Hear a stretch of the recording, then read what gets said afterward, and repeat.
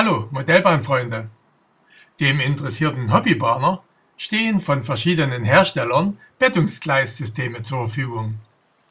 Ich habe mich neben einem Grundgleis für den Kauf von drei Erweiterungssets der Firma Türlich entschieden. Der Gleisaufbau erfolgte zunächst auf einer Spanverlegeplatte der Norm P3, die im Feuchtebereich einsetzbar ist.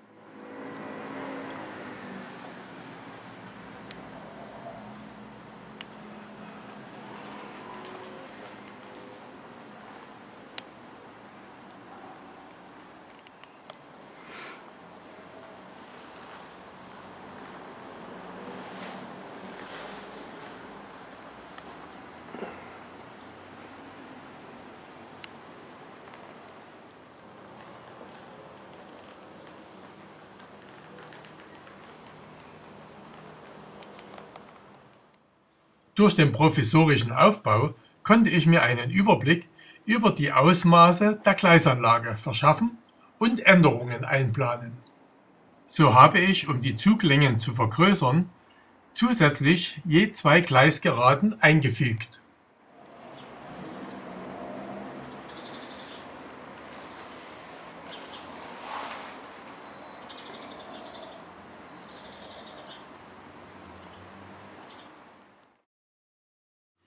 Natürlich konnte ich einem Probelauf meiner 130 nicht widerstehen.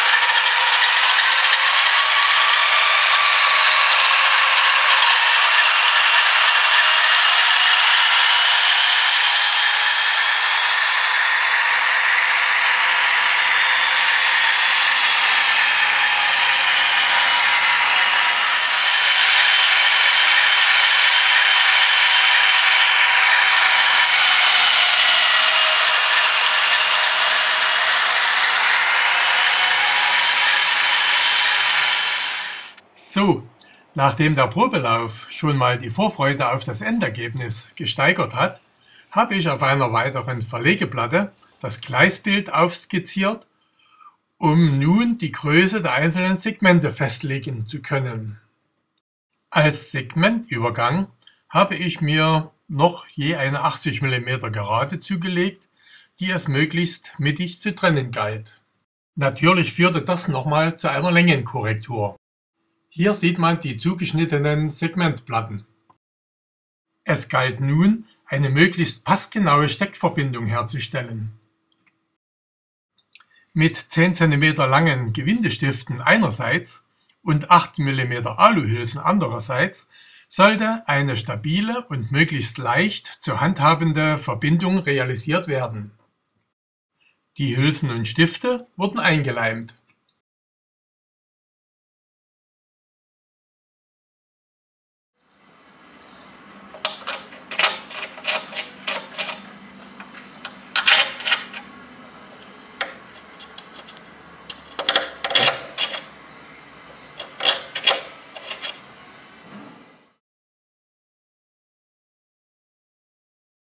Nachdem die Steckverbindung funktioniert, habe ich das Gleisbild erneut aufgemalt und teilweise korrigiert.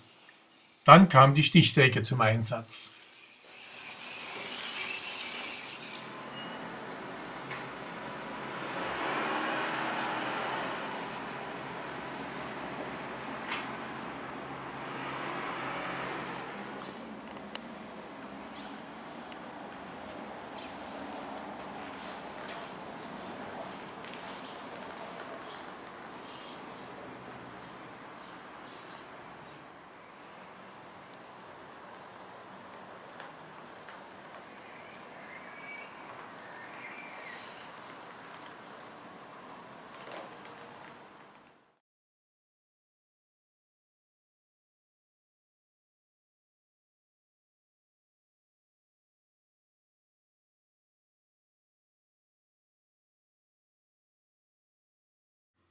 Nachdem ich die Umrisse der Gleisanlage ausgesägt hatte, konnte ich mit der Befestigung der Spannverschlüsse beginnen.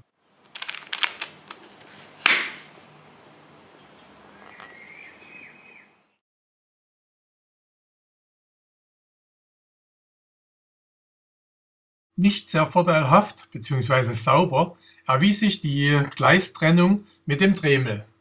Hier hätte ich besser eine Feinsäge nutzen sollen. Die unsaubere Trennung zu den Abstellgleisen wurde später noch etwas präpariert.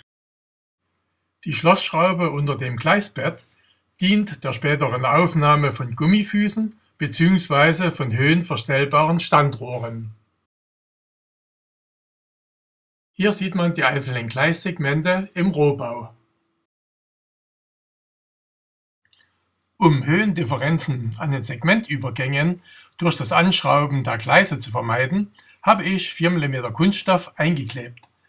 Es wäre natürlich besser gewesen, ich hätte das vor dem Bohren der Befestigungslöcher gemacht, aber naja, das sieht ja später eh keiner mehr.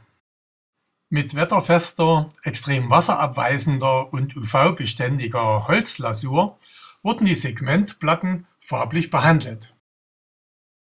Zur besseren Bedienbarkeit der Weichen habe ich ein Stück Kunststoff angeklebt und die elektrische Verbindung der einzelnen Segmente wird durch steckbare Lüsterklemmen geschaffen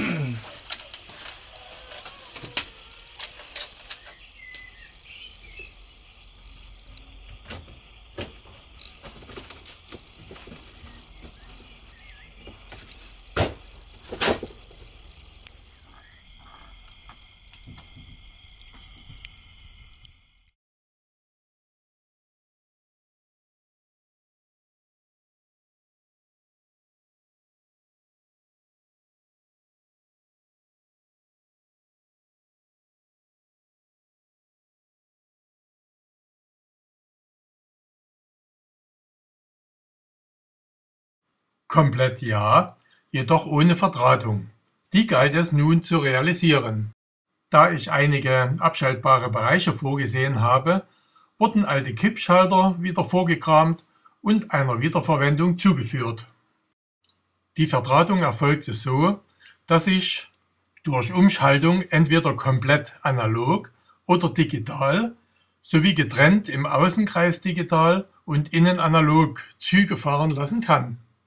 Einen weiteren oder größeren elektronischen oder elektrischen Aufwand möchte ich nicht betreiben, denn ich möchte nur spielen, spielen, spielen, möchte ja nur spielen, spielen, spielen.